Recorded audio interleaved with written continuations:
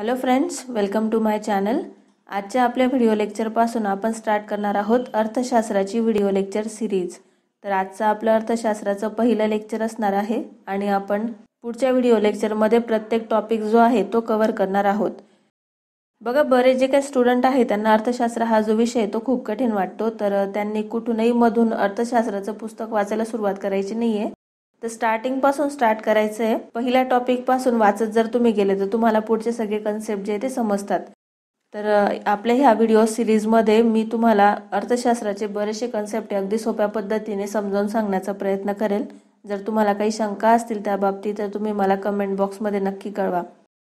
तर video start करण्याच्या आधी तुम्हा सर्वांना विनंती आहे जर चॅनलला नवीन असाल तर प्लीज चॅनलला सबस्क्राईब करा आणि बेल बटनवर नक्की क्लिक करा जेणेकरून तुम्ही माझे नवीन येणारे जे व्हिडिओ आहे ते बघू शकतात. तसंच व्हिडिओ आवडला तर लाईक करा काही शंका असेल तर कमेंट करा आणि आपल्या फ्रेंडसोबत नक्की शेअर करा. तर स्टार्ट करूया आपलं आजचं व्हिडिओ लेक्चर. तर सुरुवातीला अर्थशास्त्र म्हणजेच इकॉनॉमिक्स हे आर्थिक बाबींशी संबंधित आहे. आपल्या सर्वांनाच माहिती बघा की अर्थशास्त्राची जी सुरुवात आहे ती आपल्या स्वतःपासून होते मग घरापासून तर देश पातळीपर्यंत आपण अर्थशास्त्र हे बघतच असतो. इकॉनॉमिक्स हा जो काही शब्द आहे तो ग्रीक शब्द ऑइकॉनॉमियापासून तयार झालेला आहे. आणि जर आपण या ऑइकॉनॉमियाची जर फोड केली तर ती होते ऑयकॉस आणि नोमस आता याचं इंग्लिश आणि मराठीमध्ये जर आपण मिनिंग बघायला गेलो तर ऑयकॉस म्हणजेच काय तर हाऊस की ज्याला आपण मराठीमध्ये गृह असं म्हणतो आणि नॉमस म्हणजेच काय तर रूल्स म्हणजेच नियम. तर ऑइकॉनॉमियालाच आपण काय म्हणू शकतो? तर अर्थगृह व्यवस्थापन असं म्हणू शकतो. इकॉनॉमिक्स हा जो शब्द आहे तो ग्रीक शब्द ऑइकॉनॉमियापासून तयार झालेला आहे आणि त्याचा मराठीमध्ये अर्थ काय होतो? तर अर्थगृह व्यवस्थापन. त्यानंतर अर्थशास्त्राचे जनक आपल्याला सर्वांना माहिती आहे फादर ऑफ इकॉनॉमिक्स कोण आहे? तर ॲडम स्मिथ. ॲडम स्मिथ यांनी अर्थशास्त्राची एक व्याख्या तयार केली एक डेफिनेशन तयार केली जी खाली दिलेली बघा. अर्थशास्त्र म्हणजे राष्ट्राच्या संपत्तीच्या स्वभाव वैशिष्ट्यांची आणि कारणांची चिकित्सा होय. त्यानंतर बघा अर्थशास्त्राचे ढोबळमानाने दोन प्रकार पडतात. एक म्हणजे सूक्ष्म अर्थशास्त्र ज्याला आपण मायक्रो इकॉनॉमिक्स असं म्हणतो आणि दुसरं म्हणजे विस्तृत अर्थशास्त्र ज्याला आपण मॅक्रो इकॉनॉमिक्स असं म्हणतो. तर बघा सूक्ष्म अर्थशास्त्रामध्ये कोणत्या कोणत्या गोष्टी येतात? तर एखाद्या छोट्याशा गाव पातळीवरती किंवा एखादी कंपनी एखादा कारखाना तर याच्यामध्ये ज्या गोष्टी येऊ शकतात तर त्या सगळ्या सूक्ष्म अर्थशास्त्रामध्ये येतात. जसं की वस्तू सेवा मजूर दलाल विक्रेता ग्राहक आणि बाजार. तर हे सर्व काही कशाचे एक्झाम्पल्स आहेत? तर सूक्ष्म अर्थशास्त्राचे. आता बघा विस्तृत अर्थशास्त्र म्हणजेच मॅक्रो इकॉनॉमिक्समध्ये कोणत्या गोष्टी येतात? तर की ज्या गोष्टींचा विचार हा देश पातळीवरती केला जातो किंवा ज्या गोष्टींची गणना ही देश पातळीवरती केली जाते तर त्या सर्व गोष्टी या विस्तृत अर्थशास्त्रामध्ये येतात. तर त्यामध्ये काय येतं बघा राष्ट्रीय उत्पन्न महागाई बेरोजगारी कर म्हणजेच टॅक्स राज्यकोषीय धोरणे चलन परकीय व्यापार धोरण इत्यादी. या सर्व जे काय गोष्टी आहेत त्या देश पातळीवरती मोजल्या जातात. तर ह्या सर्वांचा समावेश हा विस्तृत अर्थशास्त्र म्हणजेच मॅक्रो इकॉनॉमिक्समध्ये केला जातो. तर हे दोन्ही तुम्हाला लक्षात ठेवायचे.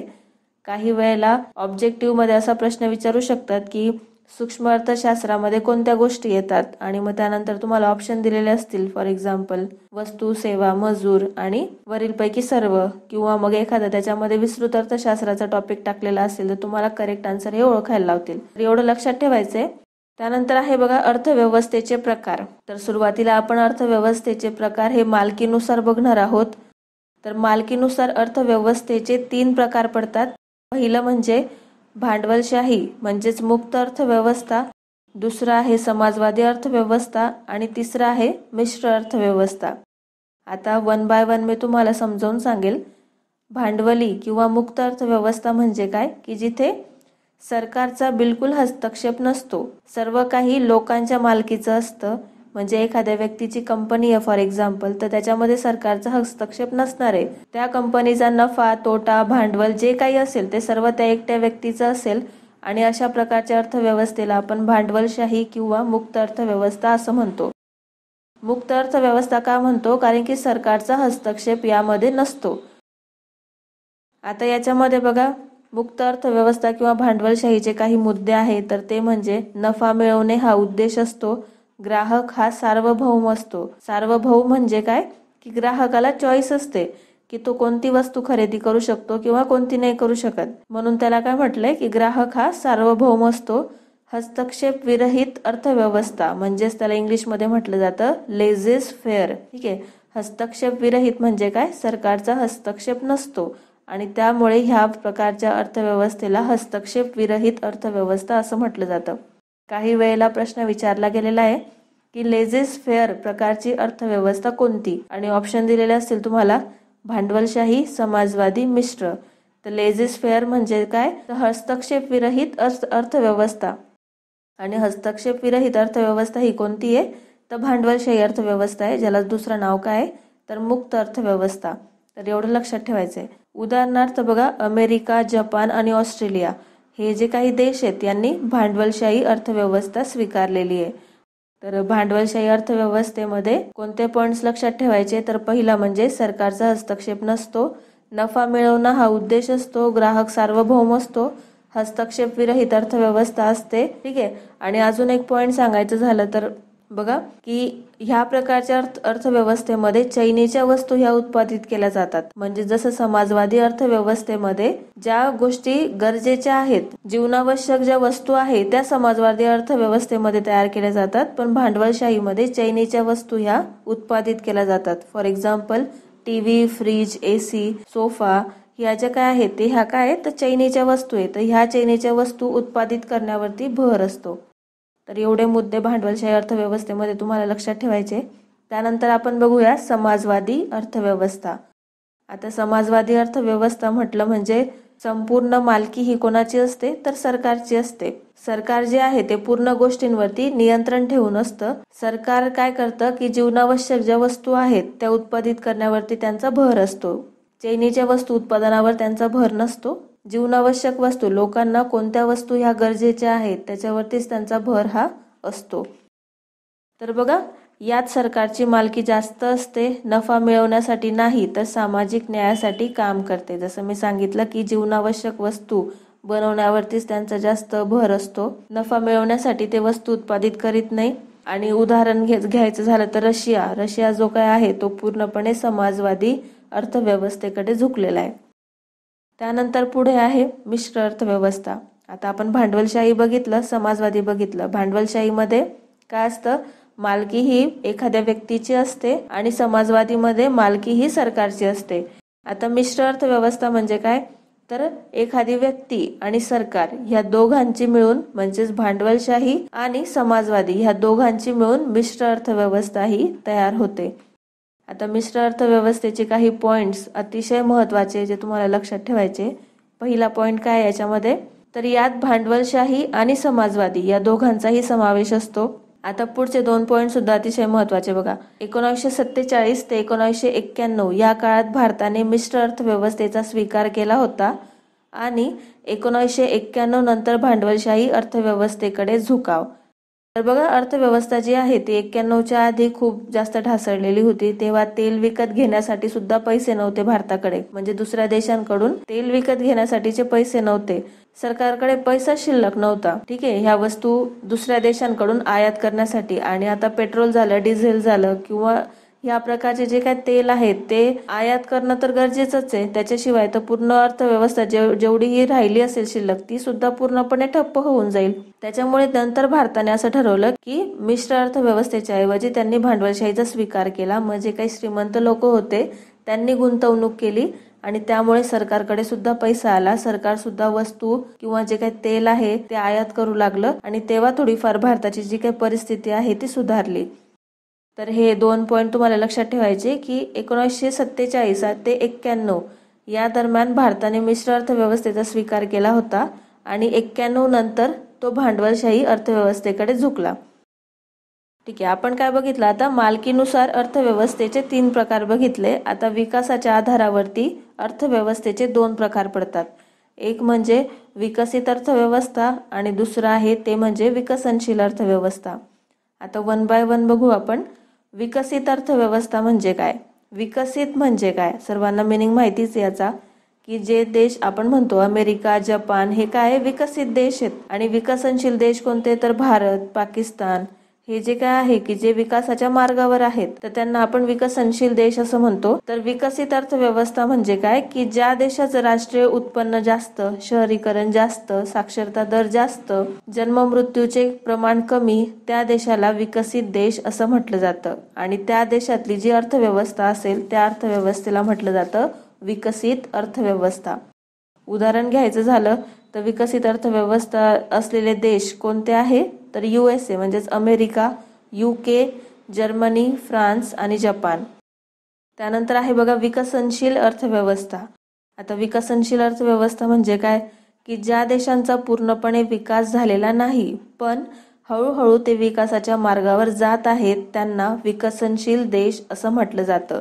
आणि ह्या देशांमध्ये ज्या प्रकारची अर्थव्यवस्था असते त्या अर्थव्यवस्थेला विकसनशील अर्थव्यवस्था असं म्हटलं जातं. उदाहरण घ्यायचं झालं तर आपला भारत आहे विकसनशील देशांमध्ये त्यानंतर आहे पाकिस्तान श्रीलंका म्यानमार इत्यादी देशांमध्ये कोणत्या प्रकारची अर्थव्यवस्था आहे? तर विकसनशील अर्थव्यवस्था. अर्थव्यवस्थेचे प्रकार दोन आहेत. एकतर मालकीनुसार आपण तीन प्रकार बघितले. भांडवलशाही म्हणजेच मुक्त अर्थव्यवस्था समाजवादी अर्थव्यवस्था आणि मिश्र अर्थव्यवस्था आणि विकासाच्या आधारावर अर्थव्यवस्थेचे दोन प्रकार पडतात. एक म्हणजे विकसित अर्थव्यवस्था आणि दुसरं आहे विकसनशील अर्थव्यवस्था. तर हे सर्व पॉइंट्स बेसिक आहेत अगदी हे तुम्हाला लक्षात ठेवायचे. पुढे जाऊया. अर्थव्यवस्थेची क्षेत्रे. सेक्टर्स ऑफ इकॉनॉमिक्स आता बघायला गेलं तर अर्थव्यवस्थेचे एकूण पाच क्षेत्र आहेत. सुरुवातीला तीन क्षेत्र होते पण त्यानंतर अजून दोन क्षेत्र जे आहेत ते ॲड केले गेले. ते कोणते आहे बघा? प्राथमिक क्षेत्र द्वितीय क्षेत्र तृतीय क्षेत्र चतुर्थ क्षेत्र आणि पंचक्षेत्र. तर प्राथमिक क्षेत्रामध्ये कोणत्या कोणत्या गोष्टी येतात? द्वितीयकमध्ये कोणत्या येतात? हे सर्व आपण इथे बघणार आहोत. प्राथमिक क्षेत्र आहे ते आहे कृषी व संलग्न क्षेत्र. म्हणजे कृषी आणि कृषीशी संबंधित क्षेत्र. म्हणजे फॉर एक्झाम्पल बघा कृषी म्हणजे शेती पशुपालन वने खाणी वन्य उत्पादन आणि खनिज उत्पादन. ठीक आहे? तर हे त्याचे एक्झाम्पल आहे. आता खाणी का दिलंय बघा की जर समजा आपल्याला एखादं लोखंडाची वस्तू बनवायची आहे तर ती लोखंडाची वस्तू बनवण्यासाठी आधी आपल्याला ते लोखंड खाणीमध्ये जाऊन काढावं लागेल आणि त्यानंतर प्रोसेस करून मग आपण ते लोखंडाची वस्तू बनवू शकतो. है ना? त्याच्यामुळे खाणीसुद्धा कशामध्ये आलं? तर प्राथमिक क्षेत्रामध्ये आलं. तर प्राथमिक क्षेत्रामध्ये कोणत्या कोणत्या गोष्टी आहेत ते लक्षात ठेवायचं. कृषी आणि संलग्न क्षेत्र ज्याच्यामध्ये येतं. कृषी पशुपालन वने खाणी वन्य उत्पादन आणि खनिज उत्पादन. त्यानंतर आहे द्वितीय क्षेत्र. आता द्वितीय क्षेत्रामध्ये कोणत्या गोष्टी येतील बघा? की प्राथमिक क्षेत्रांमध्ये असलेल्या गोष्टींवरती जर प्रोसेस केली तर आपल्याला द्वितीय क्षेत्रातील ज्या काही गोष्टी आहेत त्या मिळतील. म्हणजेच फॉर एक्झाम्पल बघा उद्योग. जर आपल्याला खाणींमधून सोनं काढून त्या सोन्याचे दागिने बनवायचे असतील तर काय करावं लागेल? कारखाना उभा करावा लागेल. बरोबर? किंवा आपल्याला जर समजा पाण्यापासून वीज निर्मिती करायची असेल किंवा आपण खाणींमधून लोखंड काढून काय करू शकतो त्याचा बांधकामामध्ये उपयोग करू शकतो तर हे सर्व काय आहे? तर उद्योग क्षेत्रामध्ये येतं. मग त्यामध्ये आलं उद्योग. उद्योगामध्ये काय येतं मग? तर कारखानदारी बांधकाम वीज निर्मिती आणि पाणी पुरवठा. पुढचं आहे तृतीय क्षेत्र. आता तृतीय क्षेत्र येतं सेवा क्षेत्र. वस्तूवरती प्रोसेस केली. फूडवरती प्रोसेस केली ते फूड पॅक केलं तर ते दुकानांपर्यंत पोहोचवणं. हे कशामुळे शक्य होईल? तर वाहतूक किंवा दळणवळणामुळे शक्य होईल. किंवा वीज निर्मिती केली आणि ती वीज घराघरापर्यंत पोहोचवायची आपल्याला. ते पण कशामध्ये येईल? तर प्रशासनाचा एक भाग झालं. तर तृतीय क्षेत्र जे आहे ते द्वितीय क्षेत्रावरती अवलंबून आहे. तर तृतीय क्षेत्रालाच काय म्हटलं जातं? ते सेवा क्षेत्र आहे ते. आणि त्याच्यामध्ये कोणत्या गोष्टी येतात? तर व्यापार वाहतूक दळणवळण संरक्षण प्रशासन सोशल वर्क आणि बँकिंग या सर्व गोष्टी येतात सेवा क्षेत्रामध्ये. त्यानंतर आहे चतुर्थ क्षेत्र. आता बघा चौथं आणि जे काय पाचवं क्षेत्र आहे ते नव्याने ऍड केलं गेलं. तर चतुर्थ क्षेत्रामध्ये कोणत्या कोणत्या गोष्टी येतात बघा तर उच्च बौद्धिक क्षेत्र आहे हे. तर याच्यामध्ये येतं research and development R and D आणि सॉफ्टवेअर ज्या काही सॉफ्टवेअर कंपन्या आहे किंवा रिसर्च कंपन्या आहेत ते सर्व कशामध्ये येतात? तर चतुर्थ क्षेत्रामध्ये. त्यानंतर पंचक्षेत्र बघा. सर्वोच्च निर्णय क्षेत्र असं त्याला म्हटलं जातं. तर कार्यकारी संचालक व अधिकारी इत्यादी ज्या काही गोष्टी आहेत त्या पंचक्षेत्रामध्ये येतात. तर ही काही अर्थव्यवस्थेची क्षेत्रे आहे. एकूण पाच क्षेत्र आहेत अर्थव्यवस्थेचे. पहिल्या क्षेत्रामध्ये येतं ते म्हणजे कृषी आणि त्याच्याशी सल संबंधित व्यवसाय. त्याच्यानंतर द्वितीय क्षेत्र आहे ते म्हणजे उद्योग कारखानदारी बांधकाम. तृतीय क्षेत्र आहे ते म्हणजे सेवा क्षेत्र. चतुर्थक आहे उच्च बौद्धिक आणि पंचक्षेत्र आहे सर्वोच्च निर्णय क्षेत्र. तर एवढे अतिशय बेसिक पॉईंट जे आहे आणि अतिशय महत्त्वाचे जे काही पॉईंट आहे ते आपण आजच्या पहिल्या लेक्चरमध्ये अभ्यासलेले आहे. जोपर्यंत तुम्हाला हे जे काही लेक्चर आहे ते पूर्णपणे समजत नाही तोपर्यंत तुम्ही व्हिडिओ बघा. आणि जर हे लेक्चर नाही समजलं तर मी तुम्हाला सांगते की तुम्ही पुढच्या लेक्चरला जाऊ नका. जर हे लेक्चर समजलं असेल पूर्णपणे तरच तुम्ही पुढचं लेक्चर बघा. अदरवाईज तुम्हाला दुसरं लेक्चर हे काहीही समजणार नाही. तर होप तुम्हाला व्हिडिओ आवडला असेल. जर आवडला असेल तर प्लीज लाईक करा कमेंट करा शेअर करा आणि जर चॅनलवरती नवीन असाल तर सबस्क्राईब करा आणि बेल बटनवर नक्की क्लिक करा जेणेकरून तुम्ही माझे नवीन येणारे जे काही व्हिडिओ आहे ते बघू शकतात. धन्यवाद.